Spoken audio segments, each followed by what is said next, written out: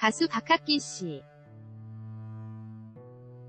태안 는 연합뉴스 김동찬 기자 는 가수 박학기 55 씨가 프로암 골프 대회에 출전해 만만치 않은 필드의 실력을 뽐냈다.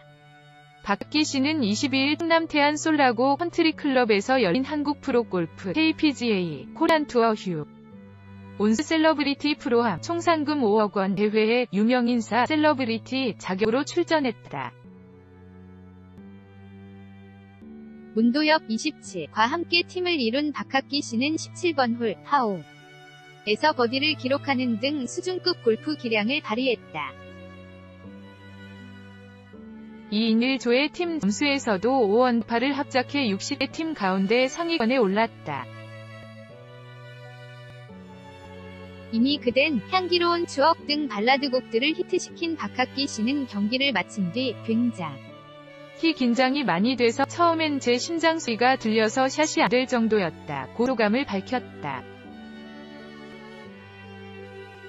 1999년부터 골프를 시작해 구력이 20년 가까이 되는 박학기 씨는 아마추어로 프로 대회에 나와 행복하지만 그래도 프로 선수들의 경기에 혹시 지장을 주지 않을까 걱정이 많이 됐다. 고 털어놨다.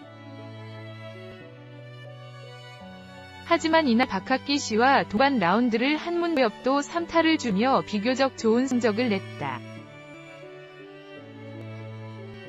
그는 조심한다고 했는데도 아마 선수들의 플레이에 방해가 많이 된 것 같다며 오늘 18홀을 돌면서 전체적인 경기 흐름이나 제가 지켜야 할 매너 등에 대해 골프 인생에서 공부를 가장 많이 한 하루였다. 고 돌아봤다.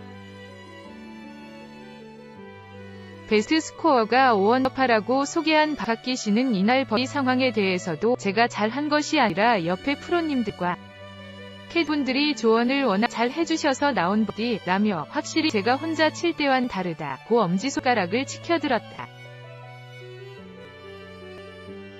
이날 주문 씨등 함께 나온 가수 중에서 가장 좋은 성적을 기록한 박학기 씨는 가수 중에서도 워낙 잘 치는 분들이 많아서 라고 말끝을 흐리더니 그래도 가수 중에서 재미있게 치는 편에는 속한다. 고 살짝 자신의 골프 실력을 자랑하기도 했다.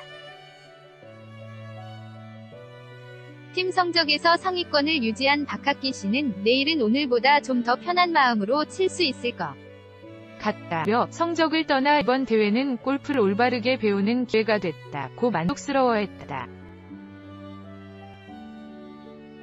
EMAILID 골뱅이 YNA.co.kr 2018년 9월 22일 14시 8분 송고